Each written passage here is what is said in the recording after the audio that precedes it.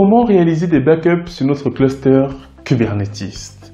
C'est une question que je reçois énormément, que ce soit lors des bootcamps DevOps ou lorsque j'anime des formations en entreprise. Parce que oui, ce sont des problématiques de production que l'on doit prendre à cœur et qu'on doit gérer lorsqu'on a un cluster Kubernetes.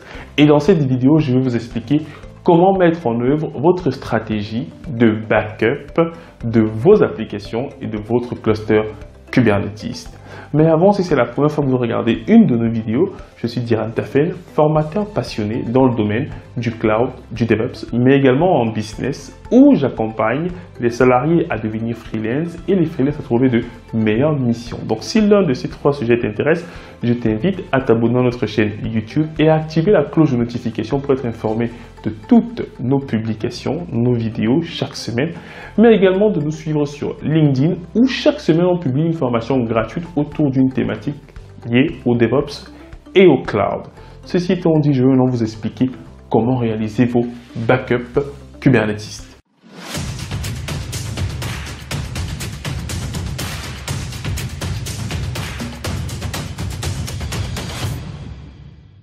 Pour ceux qui ont l'habitude de travailler en production, vous savez qu'une application ne peut pas passer en production s'il n'y a pas en effet de solution de backup prévue. C'est la même chose pour l'infrastructure. Ce qui est valable du côté des devs est valable pour les ops. Même les ops doivent prévoir des backups pour leur infrastructure. Et nous allons voir en ce qui concerne Kubernetes, parce que Kubernetes ne fait pas exception. Il faut mettre en place des backups liés à notre cluster Kubernetes qui permet d'exécuter nos microservices à l'échelle et de scaler nos applications. Alors, pour faire cela, les amis, nous allons déjà comprendre en effet le pourquoi et ensuite on verra le comment. Donc, pourquoi? Lorsque vous avez un cluster Kubernetes comme ça, donc imaginons c'est un cluster avec un master et deux workers, worker 1, worker 2. Et généralement, au niveau du master, vous avez quelques services qui font du master la tête pensante. Et au niveau du worker, vous déployez vos applications. Par exemple, vous avez le front-end, vous avez le back-end de votre application et éventuellement, vous les avez en haute disponibilité. Donc, sous forme de pod. Vous avez deux réplicas. Allez, front-end et back-end. Bien. Vous devez bien comprendre ici que le but n'est pas de faire de la haute disponibilité de vos applications. Non, ça c'est lié à l'architecte applicatif qui déploie l'application sur Kubernetes. Là, nous sommes là présent pour cette vidéo pour voir comment backuper le cluster si tout ça tombe. Comment est-ce qu'on fait? Si je perds mon manager, comment est-ce que je fais pour le remonter? Si je perds un nœud, comment est-ce que je fais pour remettre mon application en cours de fonctionnement? Si je perds mon application back-end, comment est-ce que je fais pour le remettre en fonctionnement? C'est ça l'enjeu de mettre en place des backups sur votre cluster Kubernetes. Alors, il faut savoir qu'il y a deux niveaux. On va les voir. Et je prends le rouge. Voilà. Le premier niveau, c'est le backup du cluster. Alors, il y a même trois niveaux, hein, donc on va voir les trois. Il y a le backup du cluster. Donc, la première chose que vous devez penser à backuper, c'est les différents objets qui ont été déployés. Parce que lorsque vous créez une ressource sur Kubernetes, qu'est-ce qui se passe? Il enregistre en effet cet objet-là dans le TCD. Le TCD, c'est la base de données de Kubernetes. Mais il n'est pas là pour garder les données de votre application. Non, il garde les données fonctionnelles du cluster. Je répète encore, il garde les données fonctionnelles du cluster.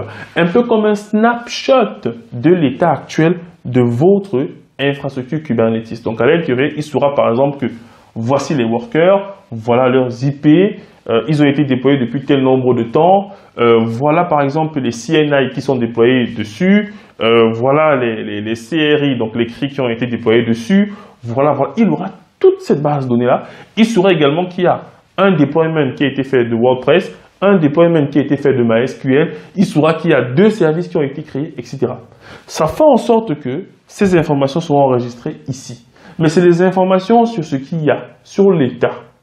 Mais attention, il ne stocke pas les données de vos applications. Non, on verra cela par la suite. Donc ça veut dire que on va dans un premier temps tenter de backuper globalement l'ensemble des informations liées à notre cluster. Et pour le faire, on va utiliser l'outil qu'on appelle Velero. C'est lui qui est actuellement le plus utilisé. Velero. Donc, dans la formation Kubernetes qui a sur Easy Training, vous avez une démonstration sur comment utiliser Velero. Donc, Velero va nous permettre de réaliser nos backups et de pouvoir faire un rollback en cas de problème. Du coup, si on a par exemple dans la nuit quelqu'un qui a supprimé des pods par erreur, ben, du coup, on peut donc restaurer l'état de notre cluster dans l'état où il était. Donc, premier élément, backup du cluster. Deuxième élément très important. Allez, tac. Je prends le verre, voilà. Donc, là maintenant, on va mettre les backups des manifestes.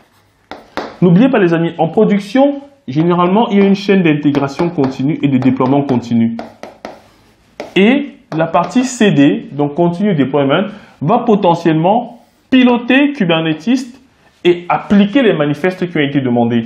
Et généralement, ces manifestes-là se trouvent en effet sur un guide de l'entreprise. Donc, deuxième niveau, bien penser à avoir les manifestes qui ont permis de déployer l'application.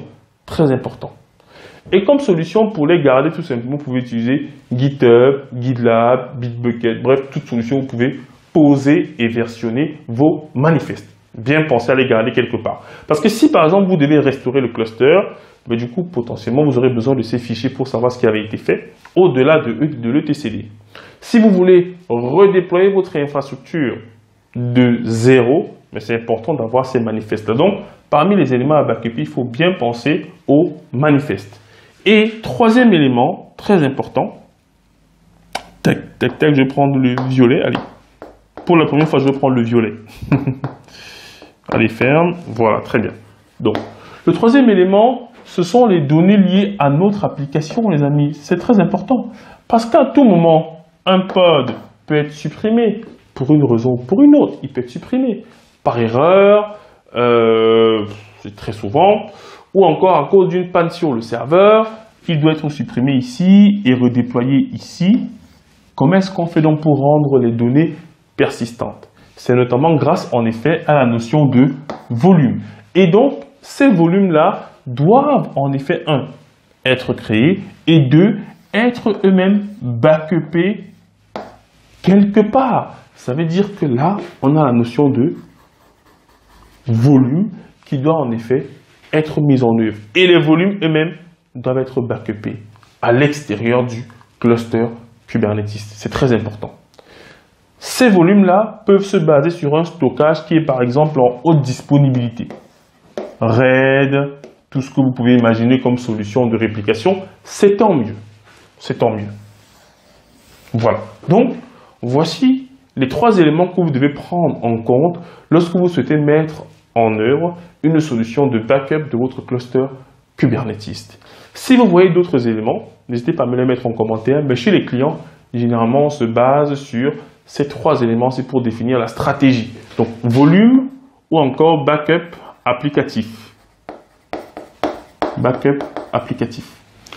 Il y a souvent des développeurs qui ont la maturité nécessaire pour eux-mêmes planifier la réalisation d'un dump de leur BDD et du stockage sur un NAS ou sur un SAN. En effet, il y en a.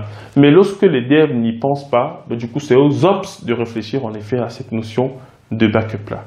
Voilà. Donc, si vous avez trouvé cette vidéo intéressante, n'hésitez pas à me mettre vos avis en commentaire, à la partager autour de vos collègues qui travaillent peut-être sur Kubernetes. Et si vous voulez que j'approfondisse certains sujets, n'hésitez pas également à me les mettre en commentaire et à laisser un like pour nous encourager. Et si vous êtes intéressé par tout ce qui est lié au DevOps et par Kubernetes, nous avons notre bootcamp DevOps que nous réalisons chaque deux mois et qui nous permet en trois mois de former des gens sur les thématiques du DevOps et d'être directement employable. Donc si ça vous intéresse, allez sur notre site easytraining.fr et vous ne serez pas déçus. C'était un plaisir de vous avoir pour cette démonstration et je vous dis à très bientôt sur Easy Training à nouveau.